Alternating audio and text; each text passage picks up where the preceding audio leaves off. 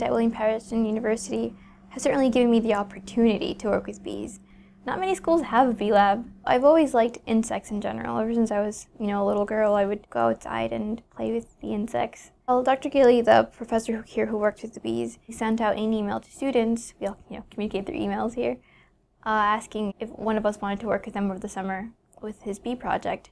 When Jessika first came to me, she she had volunteered to be a research assistant for me, and so that was a that was my own research that I needed somebody to help me out with it was a field project. The project that Dr. Gilley is doing with the waggle dance is uh, analyzing the pheromone that they release when they dance, because when they dance, they also release this, this pheromone that they think induces foraging behavior. It's opened a lot of doors for me, and it's been a wonderful experience. An employee at the Museum of Natural History was one of the ones heading up a, a long-term, large-scale project to look at pollinator diversity.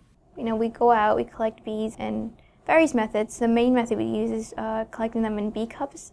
Put blue water, blue soap water in them, leave them out about a day, go back, collect them, and pin them. The bees are labeled with, you know, date, location, and then the collector, which is my name. So, you know, out there, in Museum of Natural History is a little bee with my last name on it. So that's exciting, you know? That was what what led her to, um, to, to, develop an interest in this, this, both the bee diversity project in coordination with the Museum of Natural History. I like when people come back to me and, and they say, hey, I didn't kill a bee because you told me not to, and that makes me happy.